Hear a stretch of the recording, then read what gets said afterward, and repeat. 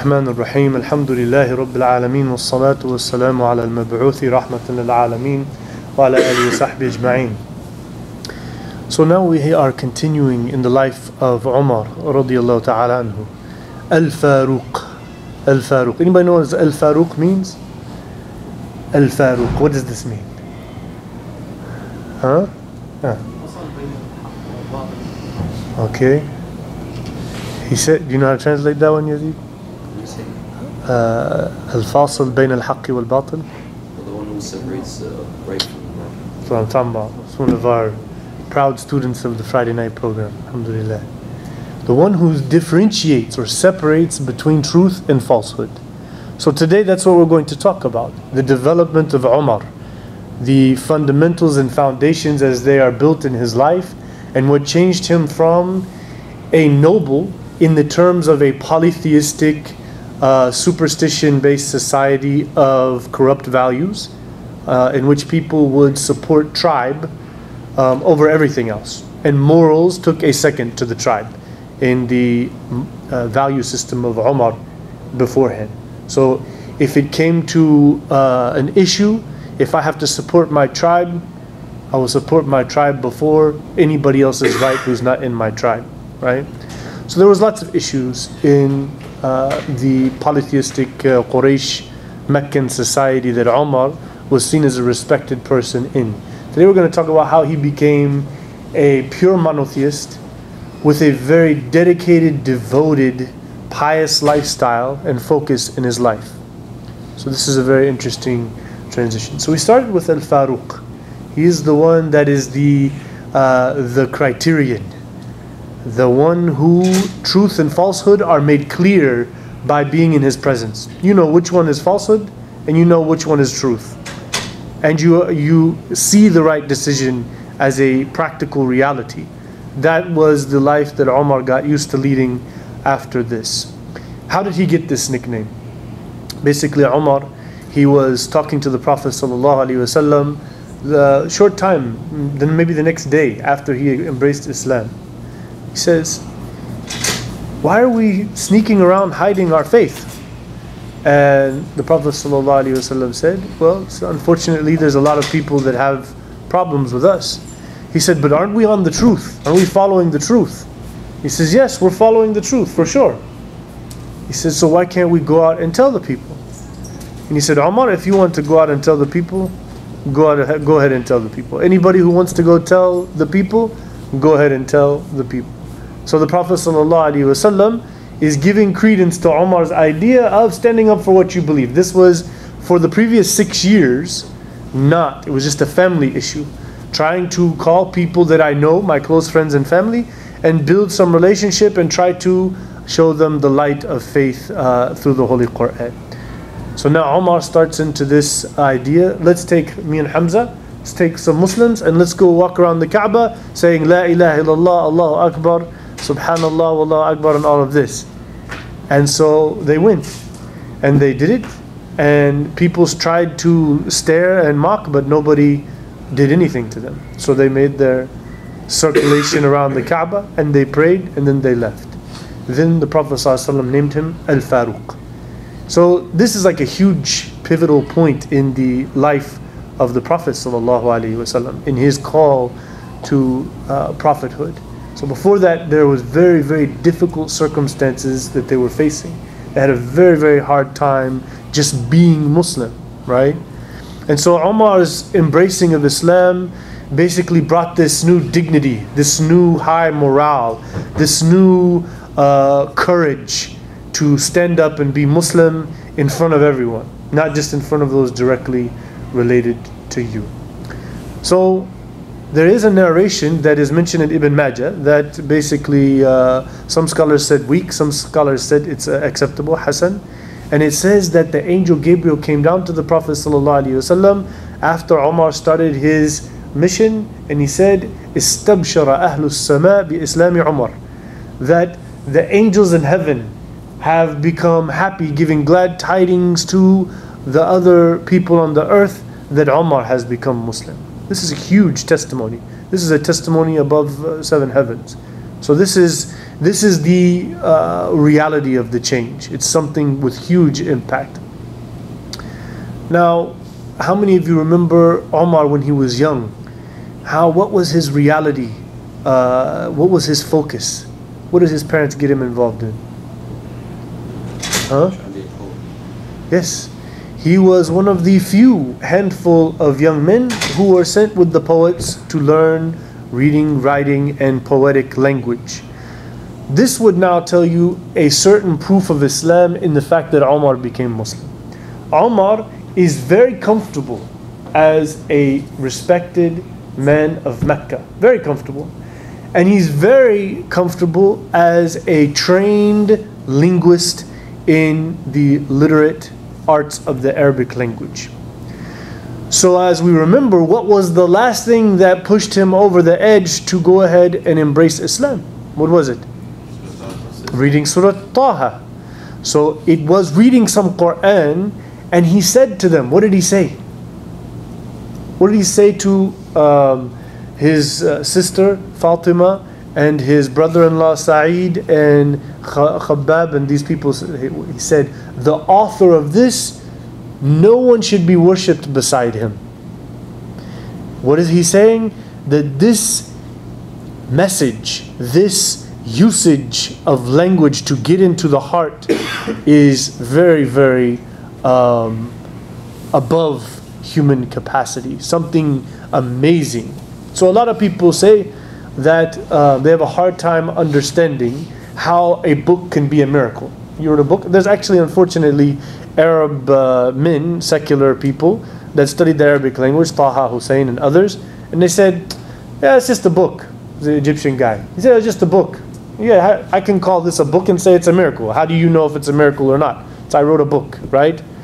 But Omar, number one, what it means for him, identity wise and comfort level wise, to leave the way of his forefathers and the nobility of the conservative nature of his values that he's grown up with and heard about for the previous generations, to go against that and his stature of the Arabic language.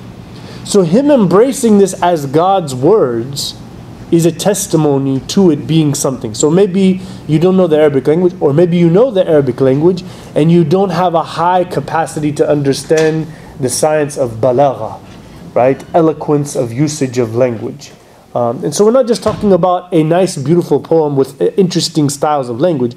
We're talking about a style of language that is high of a literary nature that gets into your heart, that gets into your heart and moves you to action that convinces you of how to live your life just because of its message. So Omar, he tasted that. So the beginning of Omar's change was Omar has something good in his heart. He has empathy. He has compassion. He started looking at uh, some of these uh, sisters and you know what they went through and the torture and the abuse and then they had to go migrate to uh, Abyssinia and then he talked with them and they said we're not going to give up. So he felt bad for what these people have gone through, with it, which is a compassionate. It is rahmah. And God is rahmah, that is His nature. He is Ar Rahman Ar Rahim, right? And the Prophet, ﷺ, his message is about rahmah. وَمَا أَرْسَلْنَاكَ إِلَّا رَحْمَةً الْعَالَمِينَ The only purpose for which you were sent is to be an act of mercy to all, right? So he has that in his heart. Thus, he is deserving of guidance. But when he read the Quran, that's whenever he was moved he was highly moved to follow this message at that point. Now, after this, Omar, he starts to proclaim his faith to any and everyone. He doesn't care whether they want to listen or not. Somebody might take note and say, that doesn't sound like wisdom. But Omar is a special person. He's a special person with a special level, and uh, de- he demands a certain respect from the people who know him, right? So this is the Omar from before, but he's just changed his values, you see? And so he goes to people sitting in circles telling them about Islam. And on many occasions, groups of people would get angry and start yelling at him, and he would tell them what of it, and there would be a fight.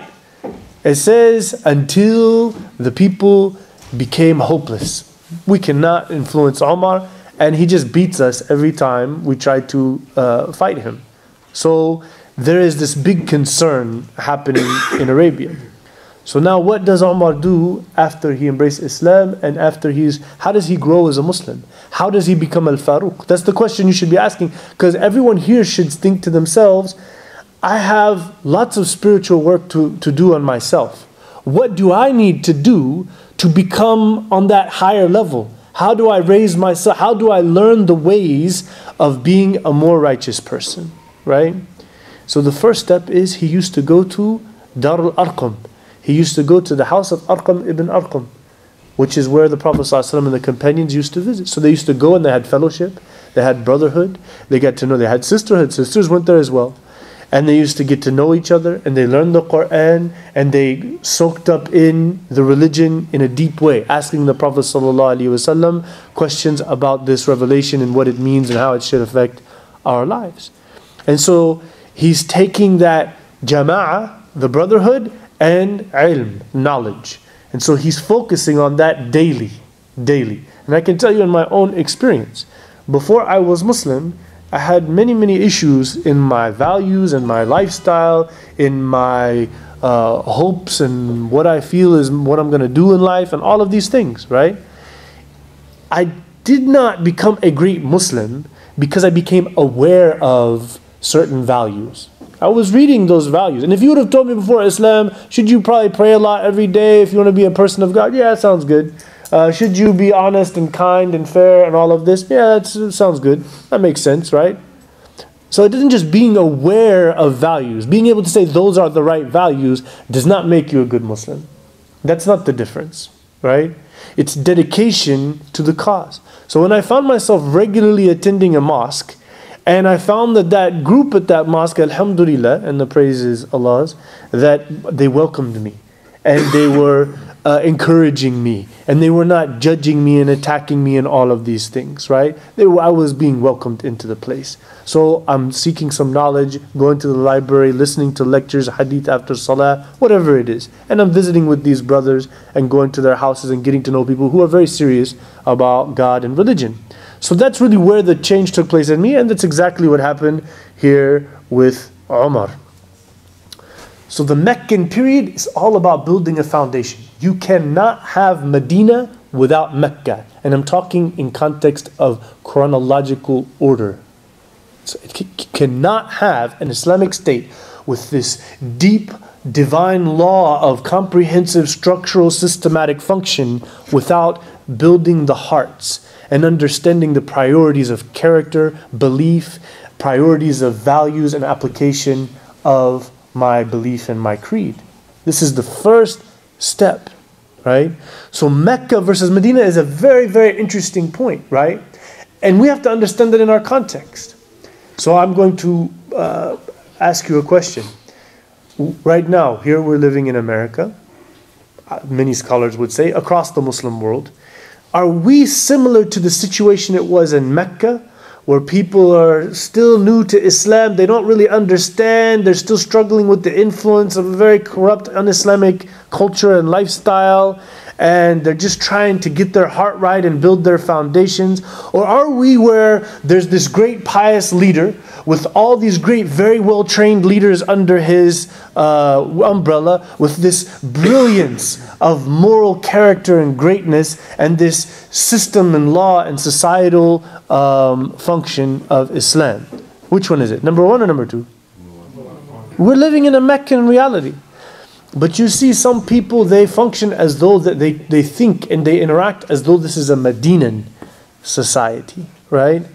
So I, you know, for example, I was saying before, I was talking with one of the other people here in the community and I said, this thing where a sister who's not at that spiritual level, for example, to wear hijab, right? And she is interested in coming to the mosque to learn. She wants, her purpose of coming to the mosque is to pray and to learn and make friends with other sisters. But because we have this attitude of shunning and judging towards that sister who wants spirituality, right? Then she doesn't come. Or she comes, but she feels forced to put on a hijab when she's not. That's not her choice, but it's more of a forced thing upon her. Now, this is hindering a growth process that should come naturally, right? In Mecca, there was no such thing as hijab Don't let shaitan fool you because oftentimes people listen to what I say and shaitan fools them. I'm not saying right now that hijab is not an obligation in our society. Move that from your mind. We're learning as we go here. I'm not saying that. What I'm saying is that as our reality is, some people aren't ready for that and they're not on that level of practice of Islam, which is still an obligation and always will be because it's been revealed, right? We need to be easier. And this goes to kids as well. This goes to how we deal with kids and how we talk to kids. Um, I, I know of a kid in Oklahoma that stopped coming to the mosque because one day he wore long shorts, long shorts, and they were halal shorts, as I know Islamic law now. And everybody everybody's, oh, astaghfirullah, those American shorts that you're wearing. Right? In Islamic law, he's actually fine, right? But the Muslim judgmental culture, haram police, it wasn't working out for him. And he got very alienated. This is the problem. So we need to help people, we need to facilitate for people a means. So, was there any detailed Islamic laws in Mecca? None at all. Prayers just got started towards the end in a more comprehensive way. Um, fasting was not an obligation in Ramadan yet. There's no zakat, there's no hijab, there's, there's just basically stay away from these major sins and believe, have, build your heart and believe things, right? So this is what this is how the foundation is built, slowly but surely. They call it a tadarruj fit tashri'ah. Phases and stages of growing in the legislation of Islamic teachings. It starts with aqidah and akhlaq, character. It says يزكيهم ويعلمهم الكتاب والحكمة. First is tazkiyah. Before the rules and regulations and pushing those things on people, is that they are purified. First, you purify by your mind and your heart, get the right understanding of life and priorities. Then your outward character starts to develop because that's becoming your system. You're able to replace whatever corruption you've been surrounded with or influenced by with this correct understanding. Right? Then after that, the law is there to complement and structure and fulfill uh, the life of a person. So, what is this transformation? It was first from polythe- polytheism to pure monotheism. So, what that meant for Umar was God and uh, divine reality was something, it was very hokey. And just throwing it around like it's, you know, the, the new day of the week, the new flavor of ice cream, you know. So, okay, that God, this God, the other God, worshiping this, worshiping that. And he knows these didn't create anything, right? So, pure monotheism dictates all your love, devotion, compassion, everything is rooted in a desire and a yearning to be with Allah subhanahu wa ta'ala. This is the first step. The second step is in recognizing the reality of human beings. Nobody in Mecca knows about Adam and Eve and Satan and that interaction and then the perpetual reality of Satan. One of the first surahs to be revealed that was quite consequential was قُلْ أَعُوذُ بِرَبِّ الْفَلَقِ and قُلْ أَعُوذُ بِرَبِّ النَّاسِ So often were these said, so integral were these surahs that Abdullah bin Mas'ud radiallahu anhu later mistakenly swore that those aren't part of the Quran. He said those are du'as, right? Because he just saw them as some very important du'as we say every single day, all day, many times. Why? Because the people have to, re- if you don't know your enemy, he will get the best of you, for sure. If you're not aware of your enemy and you don't see his attack, you, he will get the best of you. He will trick you into something. This is for sure, right? So we have to know our enemy and the means and the methods. What is the best way to do that? Other, uh, لا أقسم بيوم القيامة ولا أقسم بالنفس اللوامة. This was revealed in Mecca. So it basically said, Beware. The reality is, I swear by the day that you will be accounted. And I swear by the self that takes account of itself. Omar is hearing this. Other companions are hearing this. And they're seeing, I need to start questioning myself what I think, what I understand, what I'm going to do, what I'm going to say, and why, and what that might affect. How, what, what might that, what might happen? And وَتَوَاصَوْا بِالْحَقِّ وَتَوَاصَوْا بِالصَّبْرِ As believers, we have to talk to each other to help understand truth, help understand patience, help each other to understand our shortcomings and so forth, right? So there was jama'ah. They're hearing all of this. Ta'awanu al birri wa taqwa. Interact with each other on righteousness and piety. Do not interact on sin and enmity and transgression. Don't interact with people on those things. So these are foundational concepts. Now somebody might say, man, this is all concepts. I came for a cool story about the seerah, right? But the, the concepts is what makes the people of the seerah who they are. You see what I'm saying? I know we feel like we're being given one, two, three, A, B, C, uh, Roman numeral one, and an outline of character traits and quality and what it means. But those are the things that made all those great stories what they were because of how they affected the people, right? We have to approach Islam as a yearning desire for self development, not as a nice spiritual uplifting means of entertainment. We have to start doing it like that if we're going to grow and become a successful ummah as was the early generations and the people. Superstition was at the heart of Arabia. Till now, superstition is all over the place in the Muslim world. They use religion to make superstition.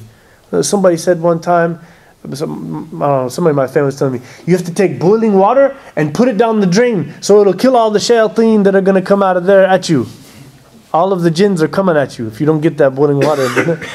what are you talking about, right? I'm sure you heard this one. When you finish praying, flip over your corner of your rug so shaitan doesn't come pray on there. I like Azhar Usman. He said shaitan needs to pray, man. He, if he's if he's gonna pray, he's the one who needs to be praying. yeah. These are these are superstitions. Islam has no place. Islam is a beautifully, wisely designed structure of life that is based upon pure divine decree and divine will with cause and effect, based upon divine intervention and control, right?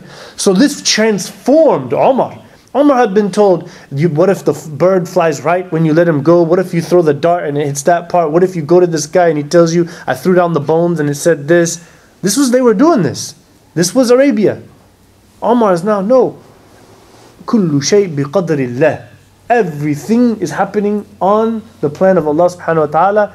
Wa ana musayyir wa uh, muyassar lima And I realized I was created for the purpose of doing His will, and so I will be made easy for that if I make my intentions in that direction. Right?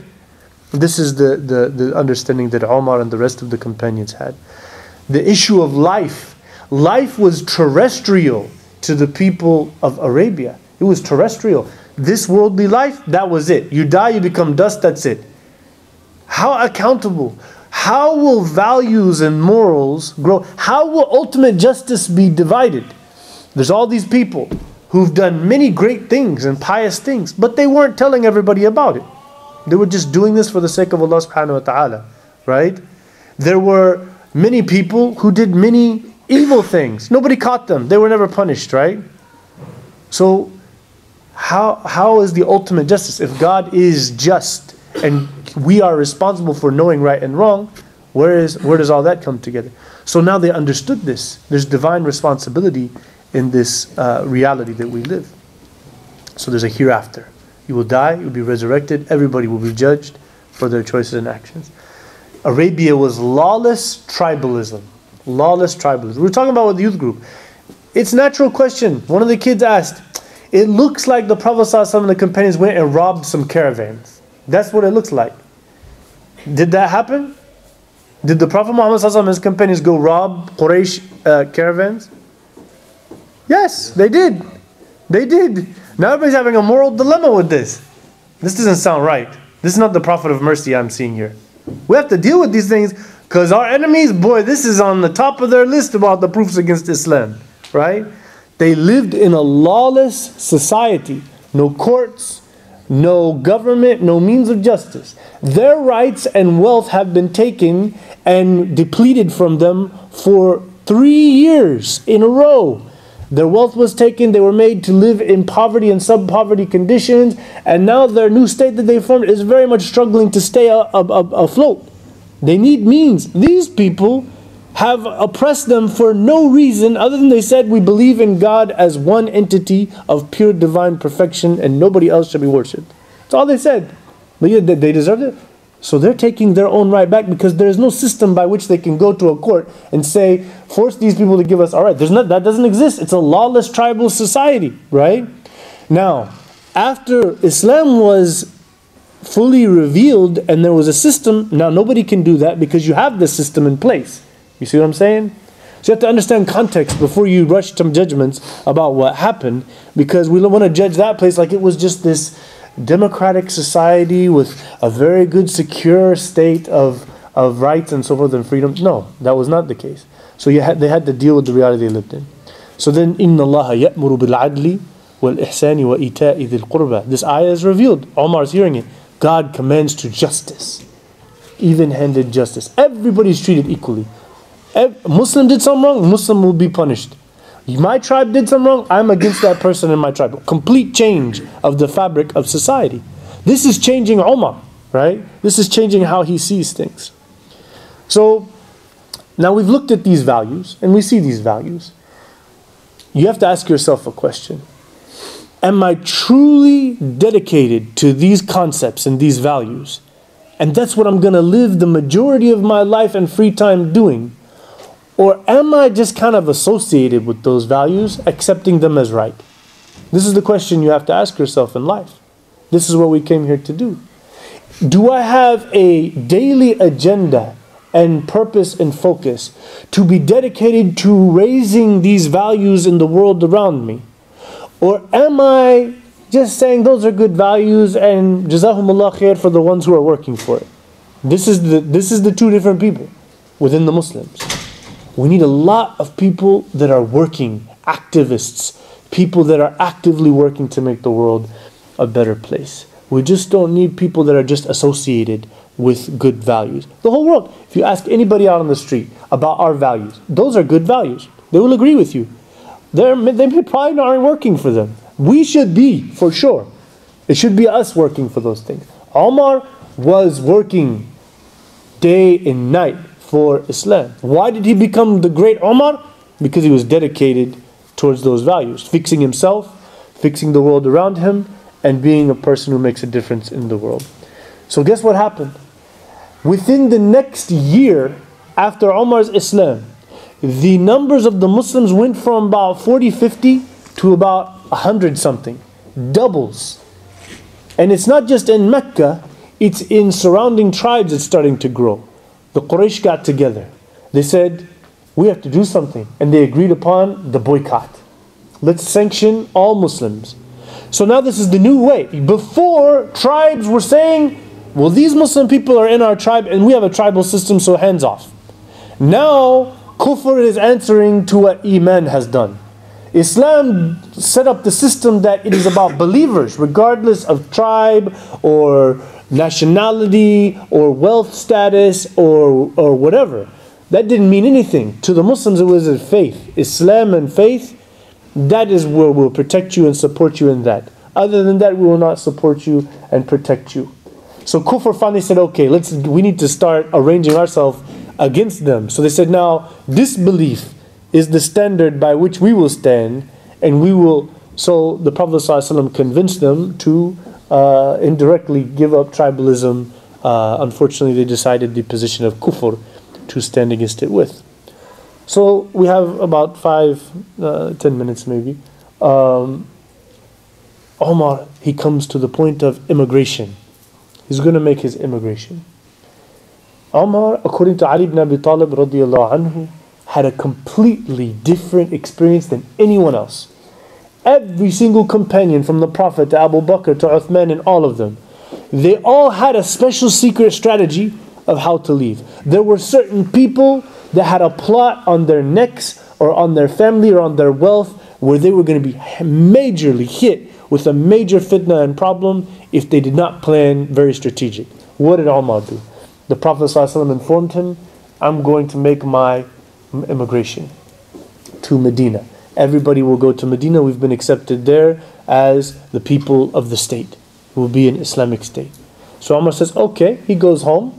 He packs up his stuff he gets his bow, he gets his arrows, he gets his sword, and he gets his staff. He comes out to the Kaaba and he tells everybody, listen up. If you want your kids to become orphans, and you want your wives to become widows, then no, I'm going on my immigration to Medina. So come and follow me and try to stop me if that's your uh, hopes. So some of the poor people and the weak said, I'm rolling with him. the poor Muslims was like, we're rolling with him, it's all good. This is the guy to be shotgun. I'm in the front seat with him. This is the person you want to go with. Omar also took many of his family members and he invited his two close friends. Right? Omar said to his friends, he says, Ayyash ibn Rabi'a and Hisham ibn al-As. He told them, look, meet me around the way. I'm going to go through this area first. We'll meet there. If one of us doesn't show, this is the command of the Prophet. We hear and we obey. We will move on. And if the other one had something happen to him. So Omar has his group and they go by that spot and Ayyash is waiting there with him. And they wait for Hisham al-As and he does not come. So we have to leave. We don't know what happened to him. God bless him. We got to go. So they go. And they travel on their journey in peace and comfort. There's about 25 of them. Omar's crew. They're just going on their immigration. So they get to Medina, and guess who meets them there shortly thereafter? Abu Jahl and the family members of Ayyash. Hmm? They come and they say, uh, Listen, Ayyash, I spoke with your mom. Your mom is sad. She's in complete disgust that you would leave her. I thought your Muslim values said you have to honor your mom. Yeah. She has said, and this is what this is that some strange culture. I will not brush my hair and I will not take shade from the sun until you come back. So Omar, he says, don't listen to these guys. They are messing with your head. Not anything they say is true. We don't trust a hair on their head.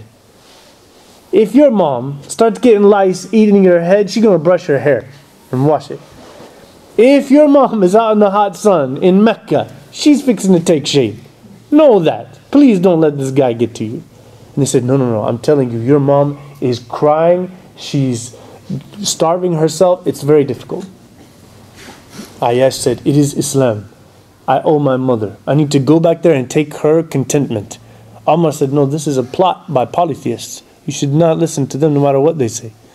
He said, No, I have to go. Omar said, Look, I'm one of the most wealthy Muslims, okay? I'll give you half of my wealth if you'll just stay here. Ayyash said, No, I'm going to go take care of my mother. So then Omar said, Okay, if you're going to go, I'm going to give you this real good camel I have. This camel is fast and easy to control, and she listens on the drop of a dime. You go on. If they start acting shady and strange, then immediately come back because you don't trust these people. You should not trust these people. His family members are with Abu Jahl. They said, We're not here about this whole, uh, this thing. Your mama is very upset and sick over this. You have to take her contentment. So they go on their journey. And they go and they stop, the first stop. Ayyash gets down, all comfortable, no big deal, go get some water, and then boom, they pounce on him and tie him up. Omar was right. So then they put him on the back of the camel. Let's go. We're going to take you to Mecca and the Quraysh will judge you. And so as he's going, he's trying to tell them, listen, this is not fair and all of this. He said, no, you're with these people who've corrupted our society and all of this. And they say, we're going to see what you, you know. So they take Ayyash back to his mom. His mom pleads and pleads and pleads. They start to threaten torture. Ayyash turned on Islam. He, he, he, he released himself from faith and said, I am now a polytheist again. And he lost his way. The news came back to Omar, and Omar was devastated. That was his close friend. And he was happy to bring him into the fold of Islam.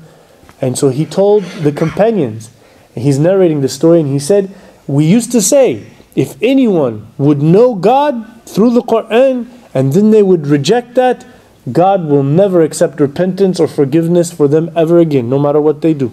We used to say that. And people started to say that about Ayyash. The Prophet ﷺ came and we told him what happened. And the Prophet ﷺ recited the following ayahs. أعوذ بالله من الشيطان الرجيم. قل يا عبادي الذين أسرفوا على أنفسهم لا تقنطوا من رحمة الله.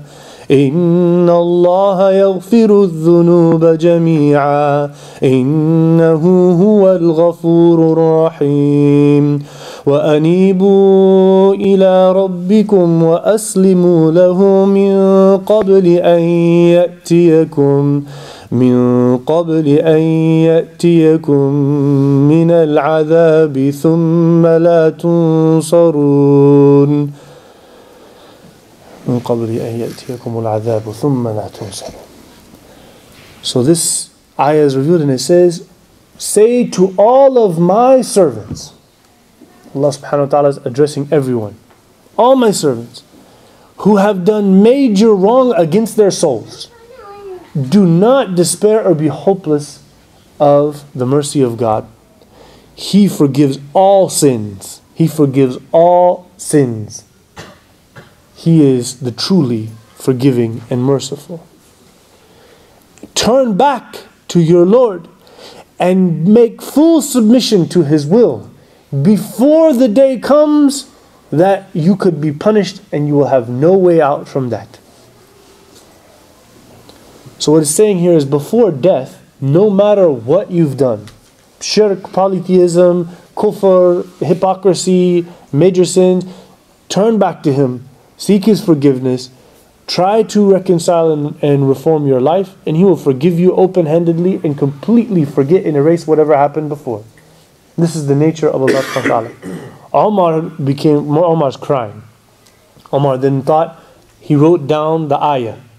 He wrote down the ayah on a piece of paper and he sent a courier. Go to Mecca and find Ayyash ibn Rabi'ah or Hisham ibn al-As and give them this paper because they both turned to shirk.